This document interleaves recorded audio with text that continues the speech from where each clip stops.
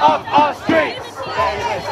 Off our streets. We're here to make the point about evictions, people being taken from their home by bailiffs because they're in arrears or they can't afford their rent or the bedroom tax, the benefit cap, which is crippling people in housing. The housing crisis is immense. Luxury apartments are being built. No council homes are being built. In fact, they're being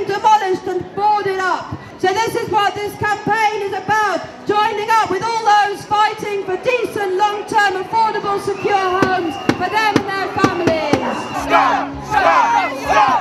Stop! Stop! Stop! Stop! Excuse me, I'm being attacked here. I am. I've just been attacked. Stop! Stop! Stop! Stop!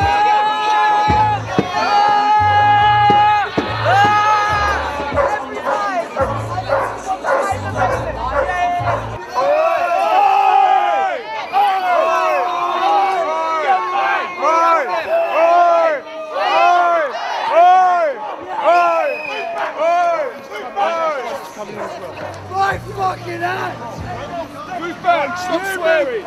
Any more language from you, shut your own